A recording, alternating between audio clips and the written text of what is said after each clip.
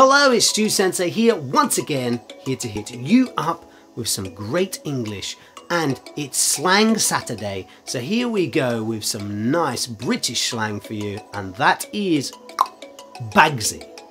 Bagsy. This great piece of English is very informal, mainly used for your friends and it's when you want to claim something that is unclaimed by anyone else. Perhaps there's people around you though, so you want to say that that's yours, even though it's no one's at the moment. The most often time that this phrase is used is in relation to the passenger seat on a car.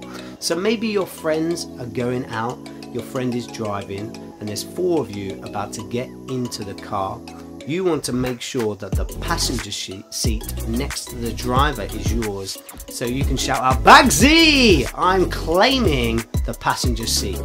Bagsy is used to claim that place that is unclaimed by anyone else. Another example is perhaps there's a chocolate bar left on the side.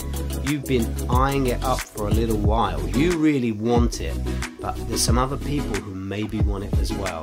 And you see someone going towards it with their hand and you're like, Bagsy, that's mine. So you've claimed it for yourself. What have you Bagsied recently? Tell me down in the comments below. Thank you very much for checking this video out and I look forward to seeing you next time. Ciao!